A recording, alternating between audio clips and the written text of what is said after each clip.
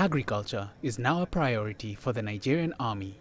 The country's agriculture minister has proven that ranching is possible and doable in the country.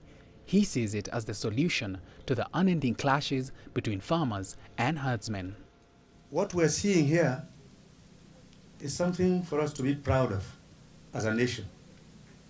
And it's also the best signal and message we can send to other Nigerians. Rearing cattle must not be the exclusive business of the Fulani. Anybody can keep cows. I have a few. So let's grow cattle. The country's army chief says that the initiative has provided jobs to the teeming unemployed youth, adding that more engagement of youth in the sector is the surest way to curb crime in the country. You will agree with me, once we have food security, all other forms of insecurity, including the insurgency in the uh, northeast, militancy, kidnapping, and a host of other criminal activities, will be drastically uh, reduced.